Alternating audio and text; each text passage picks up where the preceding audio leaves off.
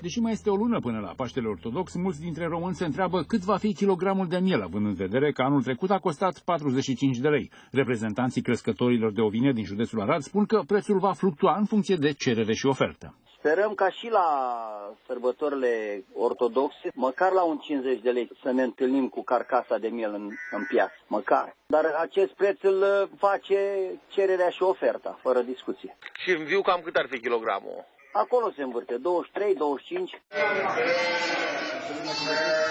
Fermierii din județul Sibiu spun că s-ar mulțumi și cu prețuri ceva mai mici. Și la carcasă undeva în jur de 40 până în 45 de lei per kilogram. Acum aici intervine probabil cheltuielile de magazin care va ajunge undeva la 50 de lei pe kilogramul de carcasă. Dar iară este o chestie care nu ne putem pronunța pentru că fiind Paștile la ortodox foarte târziu, marfa o să fie din belșug. A fost o iarnă blândă, nu a fost frig.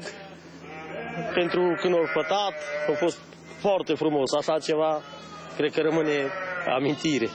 Să nu fie frig, să nu fie ger. În capitală, deși o ieri încă nu au apărut să-și vândă marfa în locurile special amenajate, în carmangerii prețurile variau destul de mult. În piețele bucureștene, carcasa de miel se vinde cu prețuri cuprinse între 45 și 48 de lei kilogramul. Mușchiulețul sare de 80 de lei, iar pulpa este sub 40. Destul de scump. Mi se pare un preț destul de ridicat pentru anumite persoane care sunt pe pensii, nu salariați, probabil plătiți mediu, este mai mult sau mai puțin uh, acceptabil. În marile lanțuri de magazine, un kilogram de carne de miel este de la 55 de lei în sus.